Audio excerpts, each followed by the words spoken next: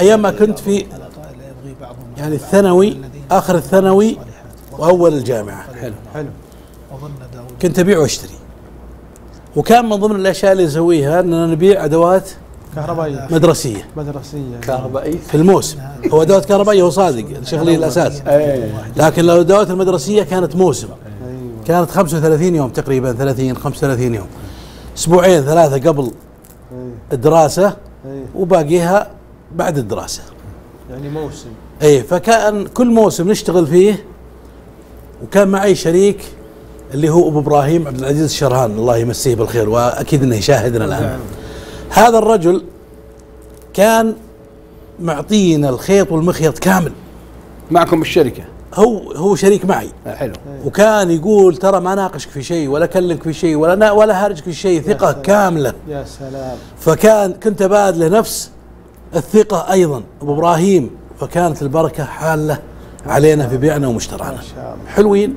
حلوين. واستمرينا كم سنة على هالشغل. نشتغل موسم. ندخلنا بمبلغ طيب. ما شاء الله. الأدوات المدرسية عشان يعني تنجح فيها أو الأساس فيها الدفاتر. إذا ما عندك دفاتر ترى ما تمشي بضاعك الثانية نعم. أنت الآن كزبون بتشتري لعيالك قلاب وكذا لازم دفاتر. صحيح. أساس. أساس. فكل سنة كنا ناخذ بدون مبالغة يعني من آه 800 إلى 1000 كرتون. في الموسم هذا. طبعاً دفتر منوع 20 ما بين 40 60 و 80 وكذا. يا سلام. فإذا ما وجد عندك دفتر ترى بضاعك ما تروح تقعد خلاص. فآخر سنة اشتغلناها كنا مع تاجر ال- الله يذكرهم بالخير الدخيل. إيه. أو الدخيل في الديرة. وكان يعطينا جزاه الله خير آجل. حلو.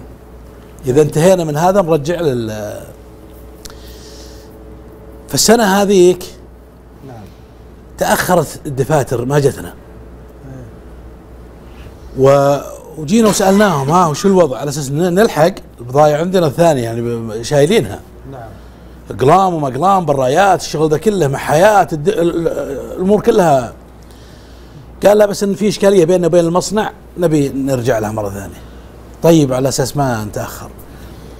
أه، ب- بقى الموسم أسبوع نروح لهم ها قبل الان ما انتهت مشكلتنا. يوم بقى الموسم ثلاث أيام تقريبا. أيوه. أو يومين. ويكلمني قال ترى اختلافنا مع المصنع استمر ولا نستطيع نوفر لكم الا الدفاتر. أفا. هذه مشكلة ذي. تخيل أنت لما لما يكون لك يعني يعني لما تطلب ألف يعني يعني كرتون دفاتر إيه. حلو؟ نعم. ولا تتوفر لك هذه مشكلة. يعني مشكلة مي بسهلة. صحيح. اي يعني يروح الموسم والبضاعه ما جت يا سلام إذا ما جت دفتر ما تبيع خلاص من بضاعك تقعد كلها. نعم. إيش حصلت أراد الله سبحانه وتعالى واسمعوا هالكلام يا أخوان ترى ترى مهم وخطير. بس أراد الله عز وجل ألا تأتينا الدفاتر فطمرت أنا بين هالمحلات أدور دفاتر. دفاتر. ما لقيت. موسم. موسم شالوه كل شال. لكن كان حقيقة عدم وجوده أيضا غريب.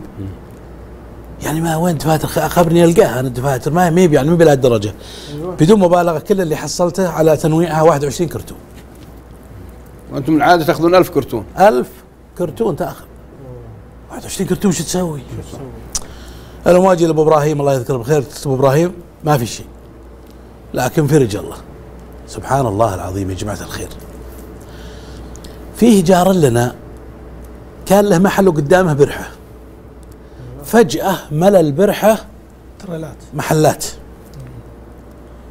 قام ياخذ محل كذا محل محلين ثلاثة أربعة خمسة وهو ممنوع. نعم. ممنوع إنه يفتح في الساحة ذي. تمنع يعني و- واستغربنا شلون يعني ولا حد ولا حد قال شيء وساكتين الدعوة وماشيه زي الحلاوة. بالنسبة له هل هو حاطه كله. آثرة نسأل الله السلامة. معطن آه، المراقب اللي كان موجود. مبالغ مبلغ وساكتين عنه. لكن شو اللي صار يا جماعة الخير؟ وهنا العجب العجاب.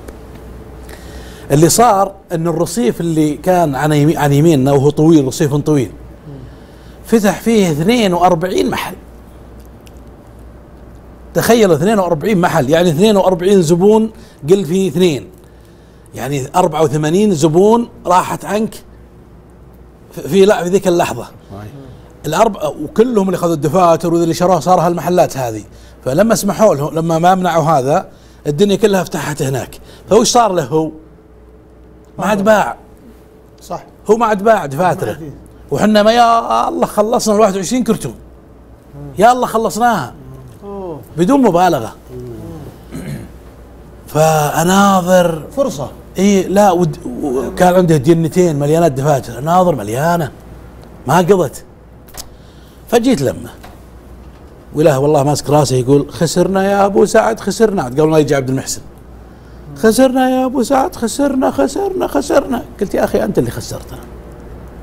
أنت اللي سويت الفعل اللي خسرتنا فيه. الله يصلح قلبك. أنت سمحت لنفسك بشيء ترتب عليه 42 محل روح عدها شوفها مفتوحه هناك. قال أنا وش أسوي؟ أنا قلت بقول لك أنا وش اللي صار لي أجل أنا صار لي كيت كيت كيت كيت. كيف؟ قلت والله هذا اللي صار والله ربي سبحانه وتعالى حافظ حافظنا هالسنة سبحان الله من من خسارة كبيرة. إي والله. قال تكفى أبغى أصير شريك معك. قلت والله لو ما يبقى إلا أنت ما دخلت مع شريك إي لأن لأن في يعني يعني حديث والحديث القدسي كان في بالي ترى وقتها. أنا ثالث الشريكين. فسبحان الله حمانا الله سبحانه وتعالى.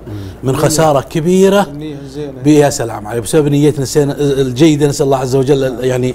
يعني يجعلنا من ممن يحسنون النية. الله ففكنا الله من خسارة كبيرة وهو تلقى خسارة ذيك السنة ما توصف بسبب الرشوة للأسف الشديد.